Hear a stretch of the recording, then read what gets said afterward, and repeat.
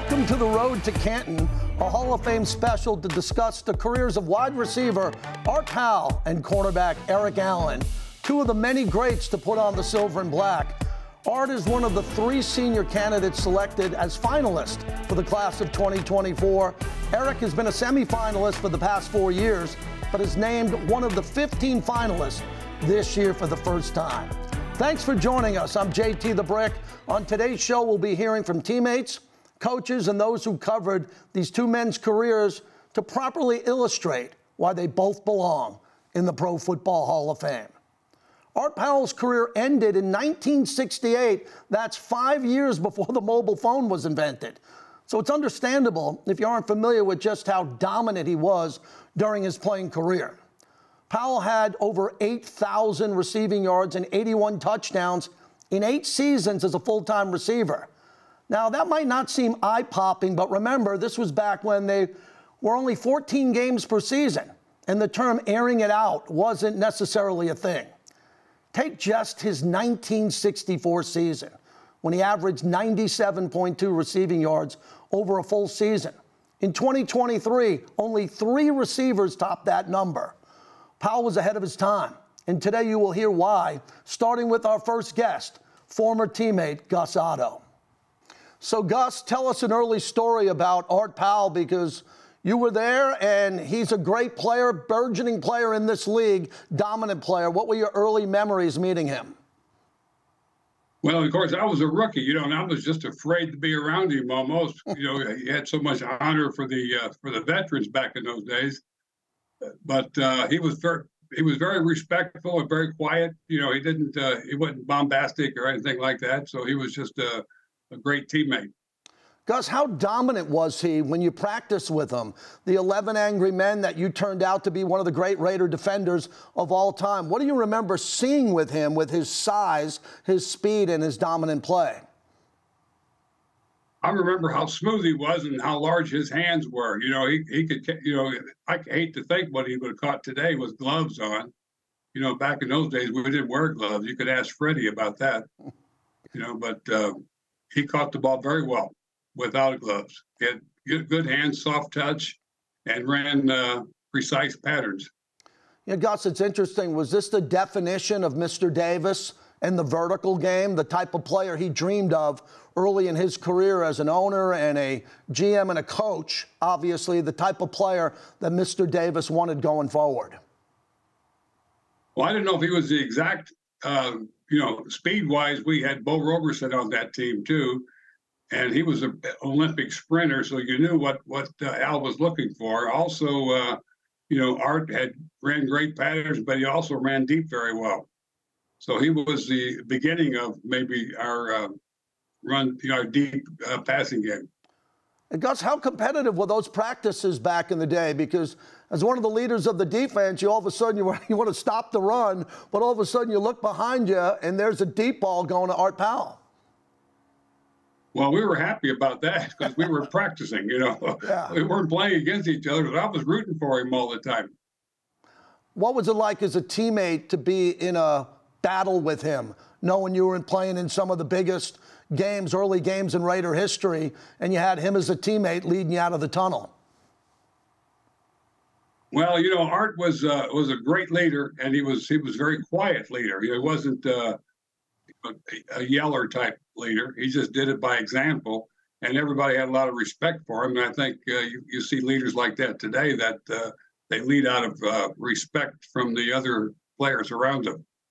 Gus, why does he deserve to be in the Hall of Fame? I mean, this has been a long wait for him, and some of your former teammates had to wait a long time too. What is the reason why Art Powell should be a Hall of Famer? Well, you know, statistically, he, he's got he's right up there statistically, maybe a little bit behind some of the Hall of Famers. However, uh, uh, he was going through a little different time in those days, and he was leading not only leading the, the Raiders, but he was also leading lot of the, the black players because they were being discriminated against in certain areas. And uh, and he put his foot down and, and took a bold stance and uh, did you know things like the, the All Star game where he boycotted and what had you uh, when uh, they they wouldn't let him eat in the same restaurant. And so he had a lot of things on his mind. He, he had a, a, very serious streak to him too, but uh, he had the uh, fortitude and the and the desire and, and, and the strength mentally to uh, to attack those problems and to deal with them. Perfect way to sum that up, Gus. Really needed you on this one because you played with him. He was your teammate. Thanks so much for joining us to talk about the legacy of Art Powell in the Hall of Fame. Okay, JT, good seeing you. Thank you. Coming up, former teammate and AFL All Star linebacker Paul Maguire joins the show to discuss what it was like trying to defend Art Powell.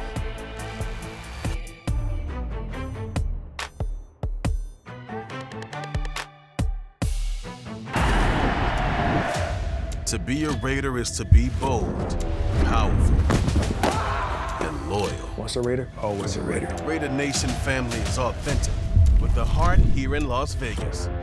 We are often imitated, but can never be duplicated. Why? The autumn wind is a Raider. Because there is only one nation. Keep up with the 2023 season by downloading the mobile Raiders app or visiting Raiders.com slash connect for scores, where to watch, and what's happening next. In our hopes to build the Oakland Raiders into an outstanding professional football organization. Al had said we need point scorers. He came up with Art Powell of San Jose State, the finest end in professional football. Al Davis revolutionized offensive football with his emphasis on the vertical passing game. He wanted to stretch the field, and one of his first moves after taking over as the Raiders head coach in 1963 was to bring in Art Powell. In his first season under Davis, and the new passing attack, Powell led the league in receiving yards and touchdowns, averaging a whopping 17.9 yards per catch. In comparison to the receivers this year, Art Powell would rank number two in yards per reception and number one in receiving touchdowns. Let's not forget, this was in an era where running the ball was emphasized and quarterbacks were given a lot more freedom when handling receivers during the play. To talk more about Powell's career, let's bring in another former teammate, the great Paul Maguire. Paul, we're thrilled to have you. First off, describe Art Powell as a receiver. Well, before he was your teammate and defending him, what did he look like, his size and his presence on a football field? He, you know, he was one of those guys when we played against the Raiders and he played, he, you had to put two people on him. Uh, I think that's one in, back in the '60s when they really started doing it. You know, you put a, a, a safety over top, and that was one of the only ways that we really knew how to how to you know cover him because he had he had just such great hands. I mean, they're uh, you know he's one of those guys that was well before everybody that it was a big man that can run and catch. But his motto was, I swear this is true: throw me the ball. That's all he ever said was to the quarterback. I talked to Flores the other day about it, and he says, "Yeah, he always said, throw me the ball, throw me the ball." Okay. Well, we, so we got the same kind of guy here in Buffalo. Yeah, we know how tight you are with Tom Flores, your best friend, and he threw the ball to Art Powell. Was it? Was he more of a deep threat over the middle of the field? We, the highlights are amazing, Paul, and you've had such a great broadcasting career. Can you imagine if we looked at a guy nowadays in 2024 on all of these highlight shows, putting on the shows that Art Powell was able to do in the prime of his career? Well, you know, he he was one of those guys that that uh, I thought, you know, because we're never in the, in the offensive meeting. I was on defense most of the time, but he's one of those guys that that really looked at film and looked what the defensive backs were doing. He knew where the openings were. Excuse me. He reminds me a little bit, uh, much faster than but Kelce with with the uh-huh. Kansas City Chiefs, you know, he get he finds an opening and he sits down in it. And if you if you watch him, uh, this is something that those two, uh, Mahomes and Kelce, look at when they look at film. Where are the opening and when he comes across the line? Because if you if you look at what Kelce does, it's like a three yard pattern, and then he gets open. Art Powell was the kind of guy that can run a 12 yard pattern and still get open. And that's where the problems come in. You really had to put a safety on him. You, could, you couldn't cover him with a corner. He was just bigger than every corner that we had in those days. Paul, tell me why he should be in the Hall of Fame. You know the politics and players in their prime, and then the seniors list, and then a player passes away. You, you handled Tom Flores brilliantly with us in the building, talking about coach who had to wait too long. Now we get back to Art Powell again. Why is this the right time for Art Powell to gain enshrinement into the Pro Football Hall of Fame? Well, you know, uh, you just you, all you have to do is go back and take a look at what he did in the era that he did it in. You know, don't I? You see it too many times, and you listen to announcers let their pardon me when I say this, let their ass override their minds by saying, you know, this guy should have been and could have been. Well, he then he would have been. Mm-hmm. it's the thing. Art Powell was one of those guys that changed the game, the passing game. So when you look at him, you you know you look at all the things that he did, all the all the touchdowns that he caught, all the passes that he caught, and all the things. Just take a look at what he did for the game in those days.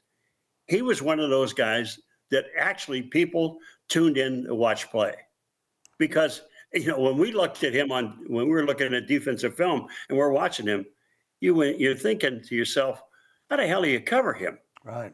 You know, because he just knew he studied so well. He knew what to do in the game situation. And when you look at what what he accomplished when he played, compare it to now, put him in.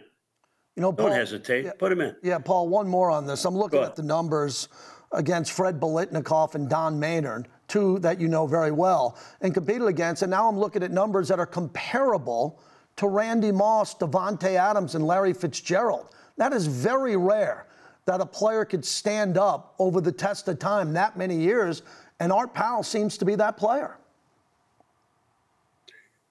Then you got to reward him for it. You know, uh, you know, there, there's how many times have we heard this thing? You know, Al Davis is the guy that recruited me at the Citadel, and I've known Al since 1956, actually 55. Mm-hmm. And he's a great coach. And there has been a lot of things say, well, this guy's not going to go into the, the, Hall of Fame because of Al Davis. Wait a minute. Al Davis says the only thing he did was t- teach the guy how to how to run patterns, where to hell, you know, look for the ball, when to catch the ball, and how to catch the ball. So, you know, if he did anything for Art Powell, he just made him what he is, what he was then in, in those days. And again, you keep bringing it up, and it's absolutely true. Look at the numbers the numbers don't lie. You know, uh, he he was the kind of guy that just. Uh, I mean, he loved to play. He, mm-hmm. he, because he knew he's so much better than than the guys who were covering him. So you know, uh, just take a look at him and, and reward the guy. It, it, doesn't take a whole lot to, to realize that, that this guy belongs in the Hall of Fame. Paul, it's always a pleasure. You're a legend. We really appreciate you as we look back at the legacy of Art Powell, and hopefully this is his year to get into the Pro Football Hall of Fame. All the best to you and your wife. I hope so. Thank you very much. I appreciate it. You guys are doing a great job out there in Vegas. Hey, everything's going to turn around for you. It's going to. You've got the people. Now all I got to do is put them on the, on the field and tell them where to play. They'll be all right. Appreciate you. Coming up, Hall of Famer Ron Wolf stops by to talk about his early days of scouting Art Powell and why he deserves to wear a gold jacket.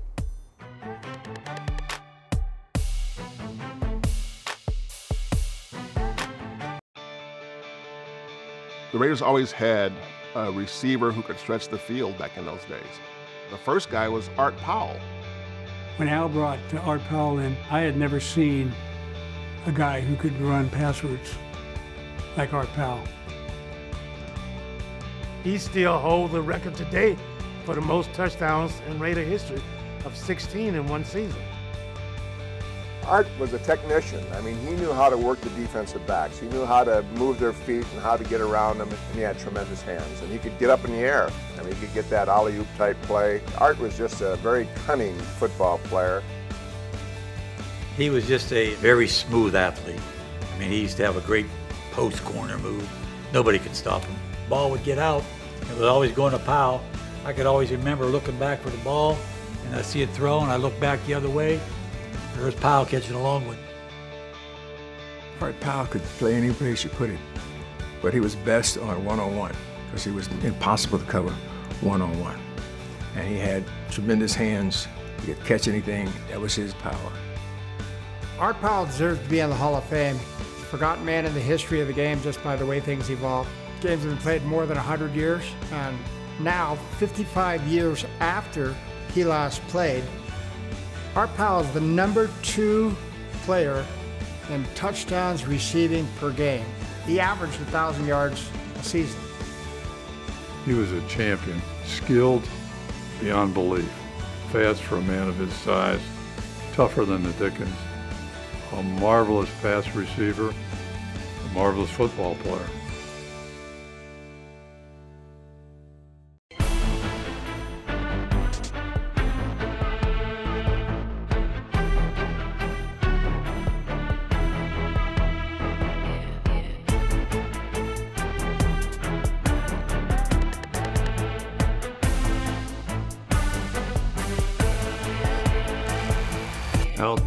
Play guy and started bringing in guys that could do that, that kind of stuff. A guy like Art Powell, who was really a good receiver, a deep receiver. The most important thing in football is scoring points, and very few are as prolific as Art Powell in finding the end zone. In NFL history, only 12 players have had five or more seasons with 10 plus touchdown receptions. Art Powell's one of them. Of those 12, seven are in the Hall of Fame, and the ones that aren't are Larry Fitzgerald, Rob Gronkowski, Davante Adams, and Mike Evans. It's safe to say they'll be putting on a gold jacket at some point in the future. And I remind you that most of the guys on that list have done it in the modern era of football where the game favors the offense. Even more impressive, here is the NFL's all time leaders in receiving touchdowns per game. Art Powell had a touchdown in three out of every four games he played. All but one of these names are in the Hall of Fame. Art Powell was one of the most productive scorers in NFL history. It's time he's treated like that. We now welcome in Hall of Famer and legendary scout for the Raiders and one of the greatest talent evaluators in the history of professional football, Ron Wolf. So, Ron, as a Hall of Famer, you drafted and evaluated so much Hall of Fame talent. Let's begin with Art Powell and his skill set. What made him such a special player? I think he was a rare player in the sense that uh, he was big, he was very versatile, uh, different era, as uh, as you well know, where you could do anything to a receiver, and and uh, I'm talking about the defense could, and he reacted accordingly. I can vividly recall him going across the middle and just relaxing as the pass is being thrown to him, knowing he's going to get the crap kicked out of him as soon as he catches the ball. He's a rare player. You have to understand when he played, 33 man squad limit. So he had a double when guys got hurt on the defensive side of the ball as well. He was a remarkable player. And I think he started uh, that Raider tr- tradition of receivers that, you know, goes from Powell to Biletnikoff, Warren Wells, and so on and so forth. So uh, he was just a remarkable player. We were, I was blessed to have an opportunity to witness how good he was, which enabled me when I went out scouting to judge him based off of Art Powell. That says a lot. So, Ron, I want to talk to you about the history of Raider acquisitions. This is a big one, looking back at Art's career before he came to the Oakland Raiders. Can you take us on that journey of Mr. Davis, yourself, everyone who was involved in the process here to get such a unique player at the time, and how difficult was that move to go out and get him? Well, I think that was all Al Davis. He did that before I came on board. Uh, he knew him from his experience of playing the New York Titans, mm-hmm. and uh, they, they, had Powell and, and Maynard as uh, as their two receivers, two wide receivers, and uh, you know he uh, Al pulled that off, and he did it by a guaranteed contract, mm-hmm. which is really was kind of like unheard of at that time. Uh, paid him all twenty five thousand dollars guaranteed contract, and uh, that won him over. What was he like as a teammate and a leader? Uh, a lot of our guests said He was a quiet leader at times, and then he'd have such explosive games and plays. What was he like from practice on the practice field and his efforts, and how explosive he was on game day? No, he's, he's a very serious uh, person, and uh, he uh, he represented himself well.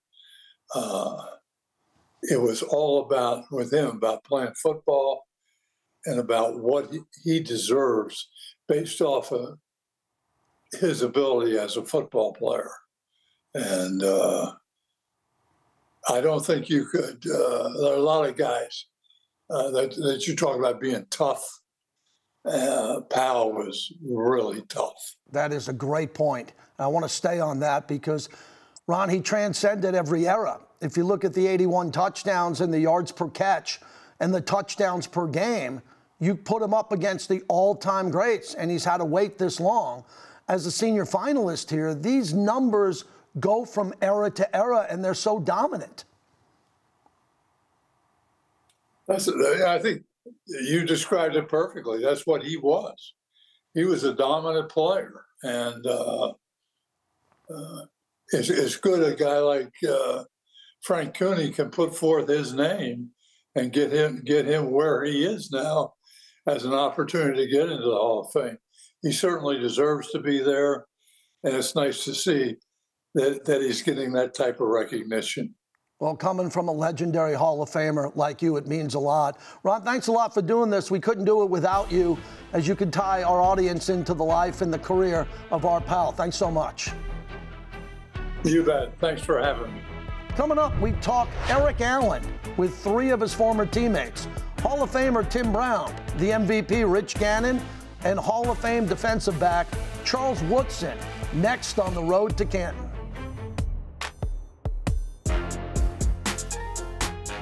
You're listening to Upon Further Review. I'm your host, Eddie Paskal. Good morning, Raider Nation. Welcome to Raiders Roundtable. JT along with Q Myers. He dissects the play quickly and makes the move to the football.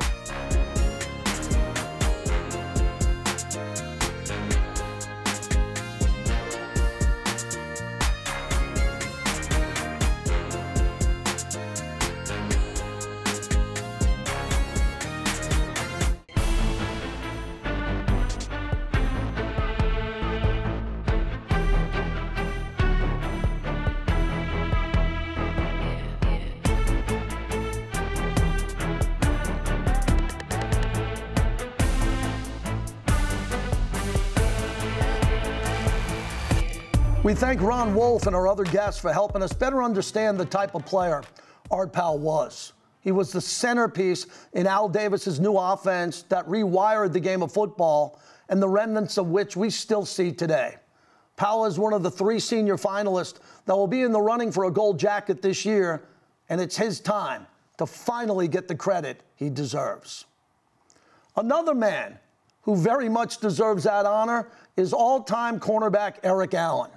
The Pro Football Hall of Fame announced Allen would be one of their 15 finalists for the class of 2024.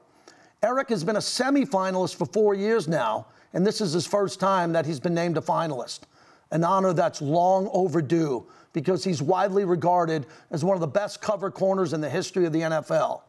In his 14 year NFL career, he played in 217 of a possible 224 games, grabbing 54 interceptions, which ranks 21st all time. Eric Allen is deserving of a gold jacket. And to talk more about him, we welcome in Hall of Famer and former teammate Tim Brown. Okay, Tim, let's begin with your first recollections of Eric Allen, dating back to the great Eagles team with Reggie White to the years that he came to the Silver and Black. Yeah, you know, I mean, uh, man, that defense they had back then in Philly was was a bad, bad defense. You know, um, I believe we went there in 91, 92. I can't remember what it was, but the worst field in the history of football. You know, in the NFL at the time.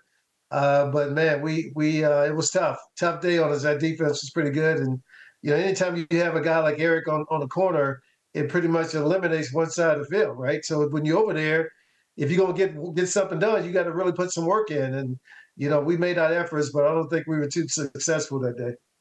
Tim, what was it like when he came to the Raiders and you practiced with them every day? Because you love the details of practice, and it sounds like everyone we're talking to, Eric Allen, stayed late after practice and got in extra work. What was that relationship with you competing against him at practice each day? Yeah, you know, you know, with only a couple guys in my career with the Raiders, when you line up on them, you have to you have to say, "Are we going live?"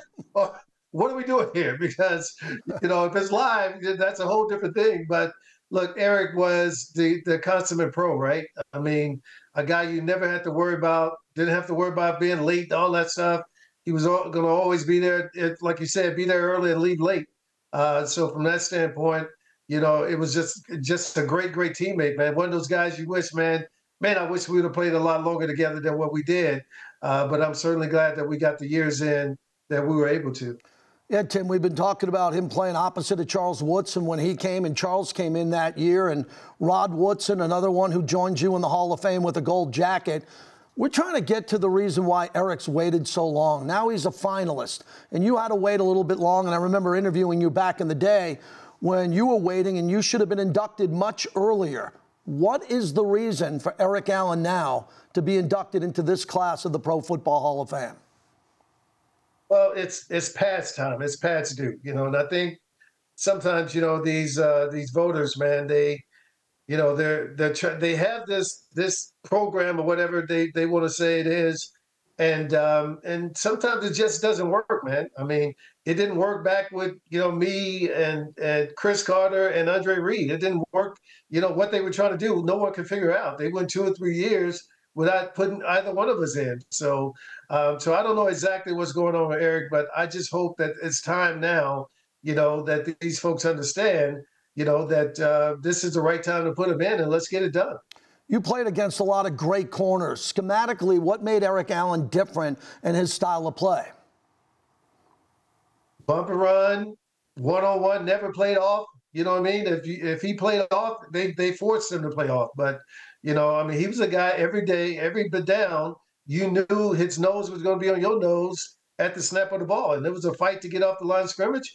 You know, and uh, you know he was never a fast, fast guy. But you know, when you look at him, you know, you never see him, you know, giving up the big plays because when you're able to stay on top of people, that's called great technique. And this guy was a technician at the line of scrimmage, and uh, you know, just you know, a little shorter, so he's under your pads already. You know what I mean? But um, he was a handful, man, and uh, a guy I, I love competing against, and certainly love competing with him. Hey, Timmy, finally, I know about your family and your faith and your kids and your family and how much that means to you. I mean, I've known Eric a while now. He's one of the best people I know. I, have never heard anyone say a bad word about Eric Allen. Let's wrap it up with him as just a person, a father, a husband, and the impact he's had on your life as a friend and teammate. Yeah, man. Look, I mean, uh, when Eric came to the Raiders, man, he was right there with us, and you know, at the Bible studies and doing all that stuff with us, and you know, you just knew that he was seeking for something deeper than than a great football career, man. And that's uh, that's what this thing is all about. And you can see him living that out now in his life, and it's it's it's really um, uh, an incredible thing. You know, it shouldn't be such a big deal, but unfortunately, in the world of football, it, it is uh, a big deal when you see guys really living their faith and living who they really want to be. Thanks, Timmy. Your voice carries a lot of weight on this show. We greatly appreciate you making time. Have a great rest of your day. Thank you, guys. Appreciate you. Coming up, MVP quarterback Rich Gannon joins the show to discuss what made Eric such a difficult cornerback to complete a pass against. To be a Raider is to be bold, powerful and loyal. Once a Raider, always a Raider. Raider Nation family is authentic, with the heart here in Las Vegas. We are often imitated, but can never be duplicated. Why? The autumn wind is a Raider. Because there is only one nation. Keep up with the 2023 season by downloading the mobile Raiders app or visiting Raiders.com slash connect for scores, where to watch, and what's happening next. Having the ability to play for a team that has so much respect for the position and didn't have an opportunity to play with Charles and try and show him the way.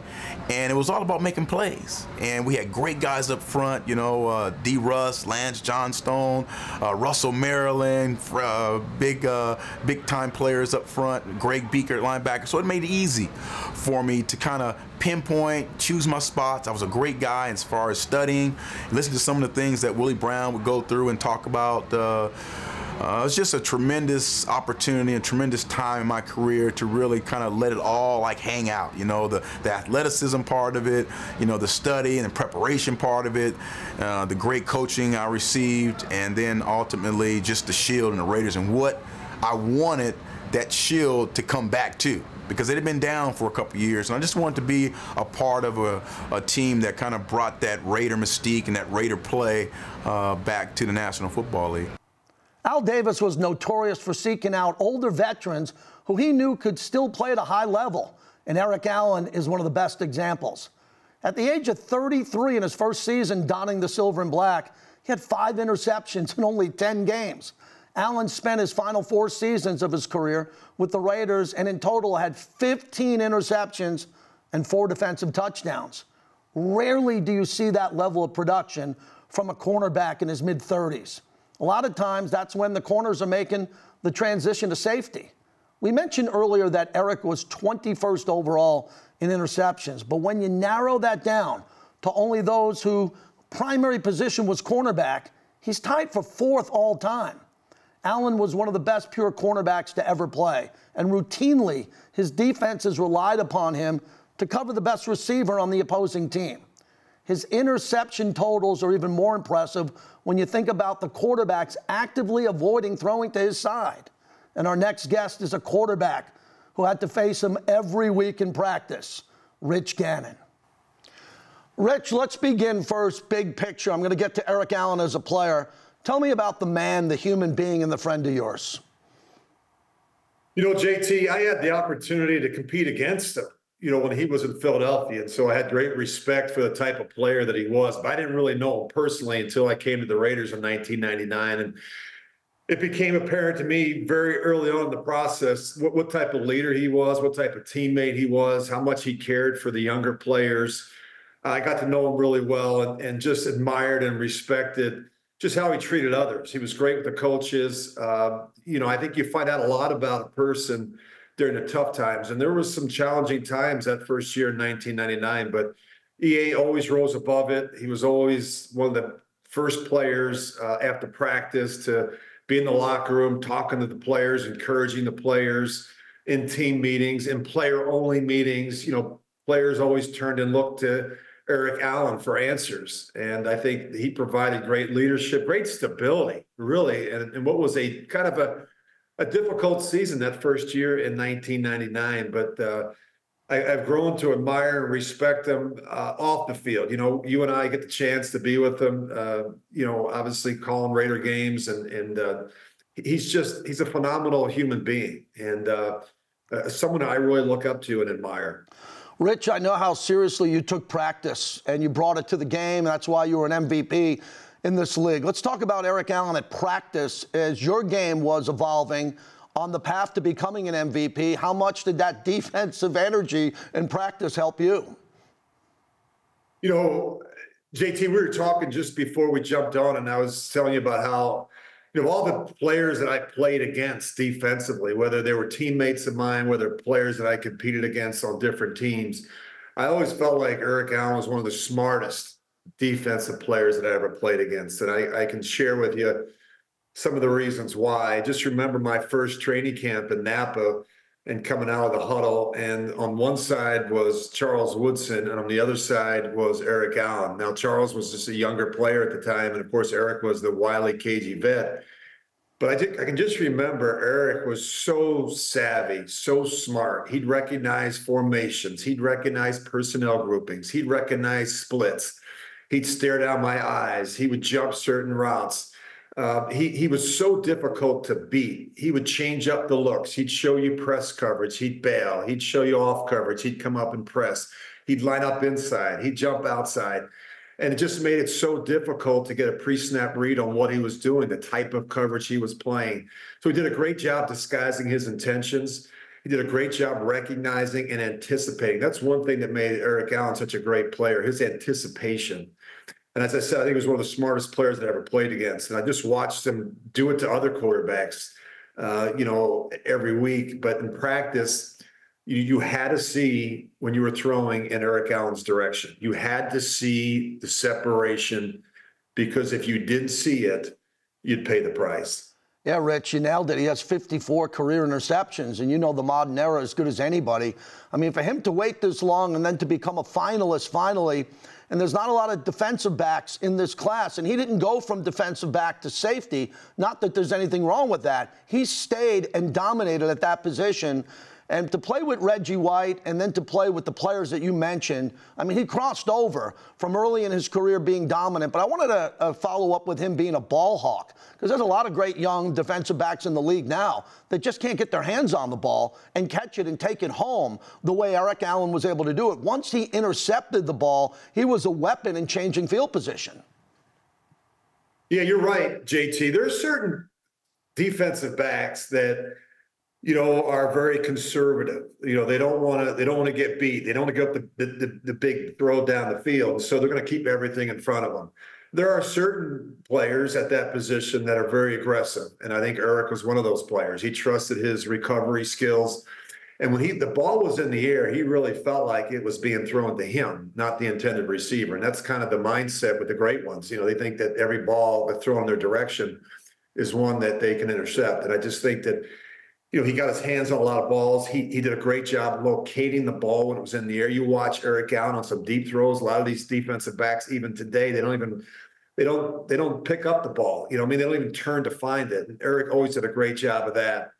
And then, as you said, once he got the ball in his hands, whether it was an interception, a fumble recovery, he could score. You know, he he had those offensive skills. You know, he had great speed, change of direction ability, stop and start ability, straight line speed.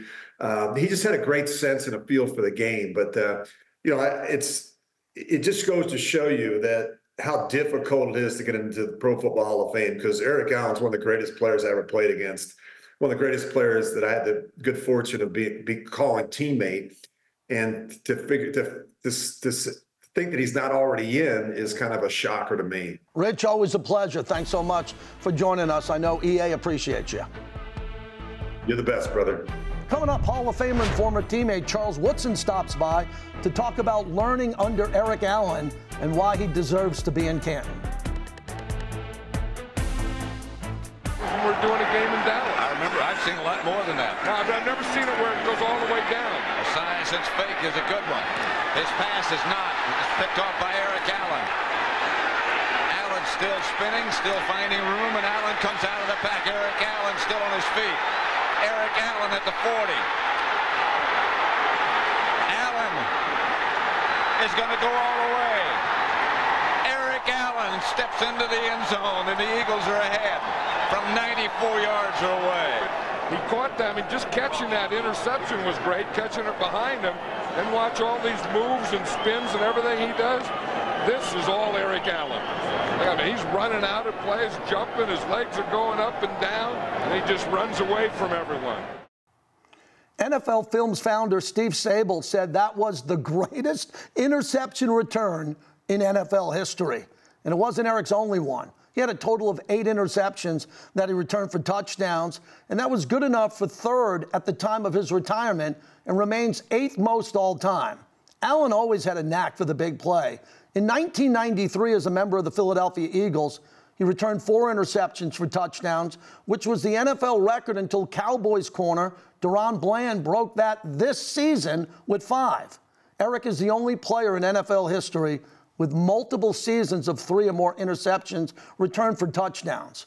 We now welcome in a teammate who had a front row seat to multiple Eric Allen touchdown returns, Hall of Famer Charles Woodson. So, Charles, let's jump in. You come to the NFL with a Heisman Trophy, and there's Eric Allen right there with you. What were your early impressions of EA? Man, just, you know, uh, I came in and I got a lot of, um, you know, what I would say is professionals, you know, that I got to look up to. And uh, EA was one of those guys. Uh, he was a guy that, um, you know, always, you know, carried himself, carried himself with with, with class. Um, he was uh, a great mentor. Like he, you know, he was one of the guys that they just took me right in and tried to show me the ropes. You know, tried to help me understand what it meant to be, you know, a, a, a young NFL player, and just trying to guide me in, in the right direction. And uh, it was always love, you know, right from the start. So, you know, I always appreciated, you know, my veterans when I got in, man, because those guys they showed me the way. Charles, I know how many people you mentored. I want to stay on that. That's a really important part of your legacy on the way to the Hall of Fame. You came in with an organization with Al Davis and players like Eric Allen. That's a really solid foundation for you. Absolutely. And, um, you know, I always tell people when I came in, you know, I always had, you know, the the legends and, and guys like that to look up to. You know, in, in that building, you always had, you know, Hall of Famer Willie Brown, who was, you know, an, an assistant coach at that time in the DB's room.